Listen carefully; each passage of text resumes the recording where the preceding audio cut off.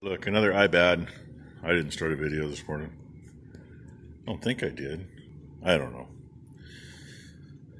I spent almost an hour and a half looking for those. Number one isn't here today, so I messaged her, and you know, half hour later, she finally gets back to me. Tells me that, oh, they're in the red bucket. Okay, the red bucket was over half full. That's what was in it. And a whole bunch of other bolts and washers and nuts that I've cleaned up and put back in the bolt bin. Those were in here with all of that. On top of it, in that bucket. Fun. So, it's been fun trying to clean stuff up so it'll go together. Driveline is now in that far. I just got to, I'm going to clean the crap up in that other yoke and then put it together. I'm going to get lunch first. And mom says I need to go up and get a package out of the mailbox. Good old USPS. Apparently we have our regular postal carrier back now. Oh, and by the way, that's what happens when you put brake clean in a solo cup. Yeah, I didn't realize it was going to stick. I thought after I had it cleaned out, it wasn't going to do that. So there's a better spot for it. Throw it out here.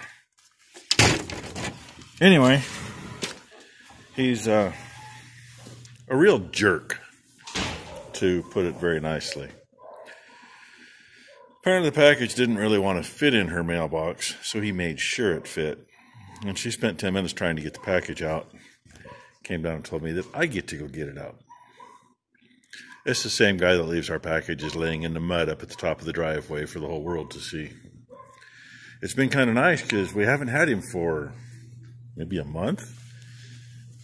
Actually, our mail in the mailbox, packages actually showing up, you know, that kind of thing. So I'm going to go see what it is, see if I can get it out. The package I said was in the mailbox. Apparently, we're listening to whatever Becky's got going I'm on. sorry, it's Nathaniel Lee. He's Oh, live. so yeah, you can see where it was oh. squished. We don't want to see his name. Make it a little narrower. Good thing it wasn't anything breakable by the looks of it. Ed and family. Just don't show me. Oh, your hands are there.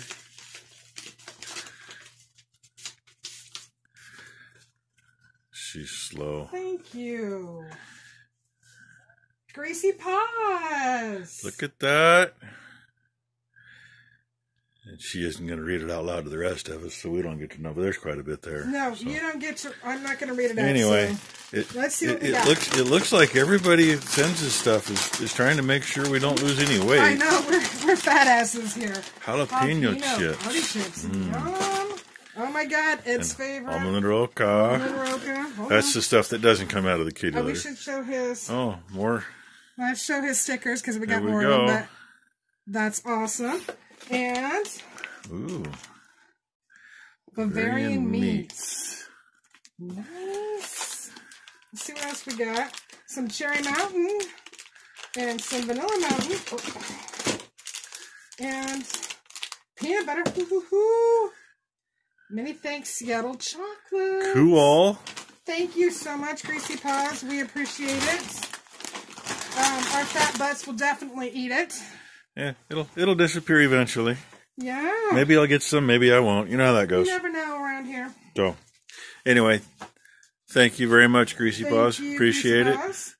One of these days we'll get stickers made. I just don't know when. We got to do that. People want them, and we don't have them, and We will do that. we should have them, and we don't. So, oh well. There's the mail call for the middle of the day. Greasy Paws, there it is, with a few others that are there, and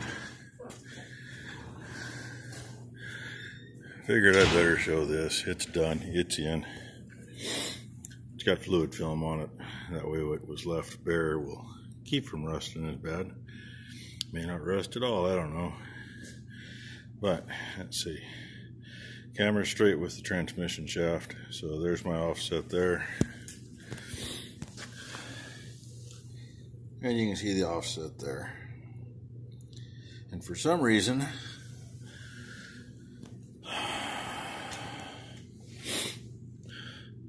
this part is pretty stiff on that one. I don't know why.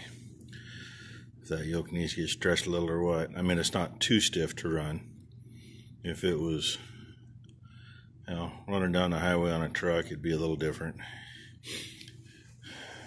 Keep it greased, it'll lube in, loosen in a little. It'll do something anyway. So there it is. I got to look on that cotton picker. There's four bolts with biscuit mounts. And God knows how many wires and links and cables. And unfortunately, they don't exactly make it easy to get to. So, and I'm calling it an early day. Late enough to feed, so they're fed. And it's not dark yet when I go to the house. And today's been a mix. Been stormy and been like this, so. A little breezy now, but not too bad. Anyway, thanks for watching, everybody. And you know, they say please like and subscribe. Don't hurt. Appreciate everybody. So, and we'll see what happens tomorrow.